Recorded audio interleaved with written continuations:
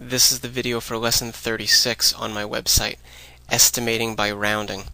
Before watching this video, you may want to watch the video for lesson 12 where I show you the actual procedure for rounding numbers. This lesson just discusses estimating by rounding in a general sense. Sometimes we're given a problem that will ask us to estimate an answer. And granted this is very vague, the instructions are very vague, what the problem is asking us to do is just use our common sense to calculate an approximate answer.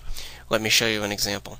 Let's say you're told to estimate 307 plus 991.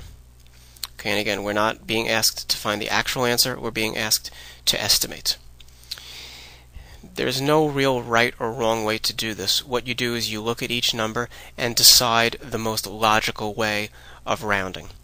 Now when I see 307, what I say to myself is what probably makes the most sense in this problem is to just round it to the nearest hundred, which is 300.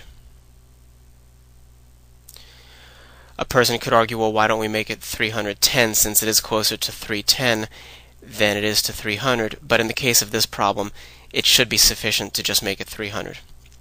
Now in the case of 991, Again, in this case, someone would be justified in saying, let's make it 990, but I see that it's very close to 1,000, so I could actually make it 1,000 just to make my job a little easier. And of course, 300 plus 1,000 is 1,300. Now I can use this symbol, which means approximately. I can say that 307 plus 991 is approximately 1,300 we got an estimated answer by rounding. One time when it's very important to do something like this is whenever you well actually whenever you're asked to get the answer to any question you should always do something like this in your head. It's important before doing a problem just to get a rough idea of what you think the answer will be. And this way if you make a big mistake and you get an answer that's totally totally different, you'll know it's definitely wrong if you get an answer that's close, it may be hard to know if you were right or wrong, but if your answer is totally off, you'll know that it's wrong and you'll know to go back and check your work. So it's it is a good idea to always get into the habit of estimating your answers. And in this case, we're estimating our answers by rounding. There's other ways that we'll learn of estimating. Let's do another example. 759 plus 22 plus 3,800 91. Again, there's no real right or wrong way to do this. You have to look at the problem and just see what kind of makes sense as far as the best way to round. Now, in the case of this first number, it's kind of roughly halfway between 700 and 800, so I'm not going to round to the nearest hundred. What I think makes sense in this case is to round to the nearest 10, and so I'll make it 760. Now in the case of the 22, it's between 20 and 30. I'm going to go ahead and make it 20. That will make our arithmetic easy, and it's pretty close to that.